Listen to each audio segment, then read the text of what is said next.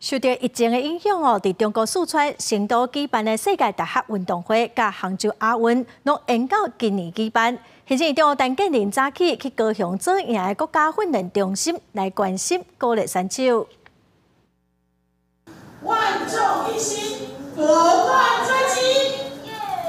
准备要代表国家去比赛的选手李志凯、郭兴顺甲罗嘉玲做伙来发声，希望这届伫咧成都世大运甲杭州亚运，选手拢会当发挥上大实力。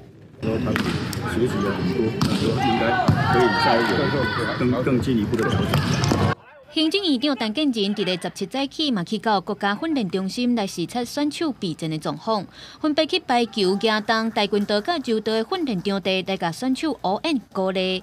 行政的资源之外，那么我们也不断呃每个月呢安排有所谓的教练会议，还有培训的座谈会，来了解到教练的一个需求跟这个选手本身还有哪一些需要。国训中心表示，成都世大运、杭州亚运拢因为新冠疫情延后到今年举办。世大运会办伫咧七月下旬，杭州亚运是九月。世大运有小奥运的称呼，国内总共会派两百十个选手去参加。